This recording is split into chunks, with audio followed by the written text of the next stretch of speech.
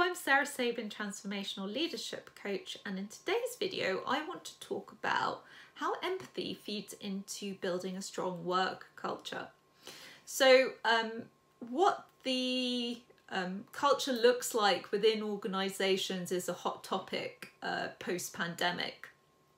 And what is becoming clear is that empathy forms part of that strong work culture because empathy gives us understanding of what our various stakeholders need.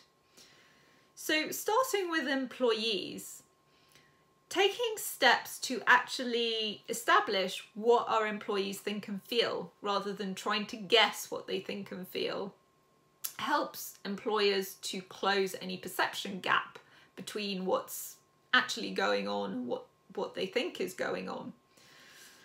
And if you can close that perception gap, you have happier employees. And happier employees tend to serve customers better and are more likely to go the extra mile. But it's also important to have empathy in understanding your customer as well. And the benefits of doing this work for both of those stakeholder groups is finding the intersection between what the employees um, say they need and what the business needs in order to serve customers in the highest possible way. So, empathy um, in relation to stakeholders can actually inform um, your planning going forward and the kind of initiatives you bring in at work.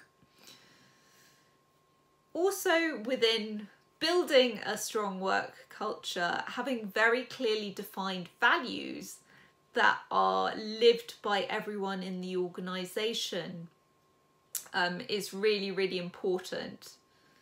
And having the balanced empathy to uh, stand by those values and to root out bad behaviours and uh, toxic um, elements within the organisation will contribute towards long-term sustainability of the company.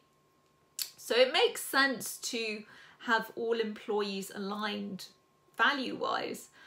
And to give an example of this, Hewlett Packard has done it really, really well. So they've created an undeniably financially successful company um, and a culture based on collectivism and empathy.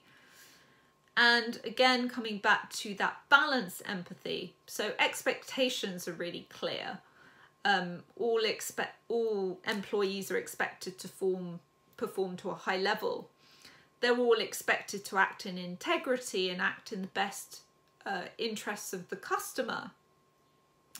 And what's important as well is actively rooting out behaviors, values, habits that contravene that and acting accordingly so that all employees can have faith that the actual system works.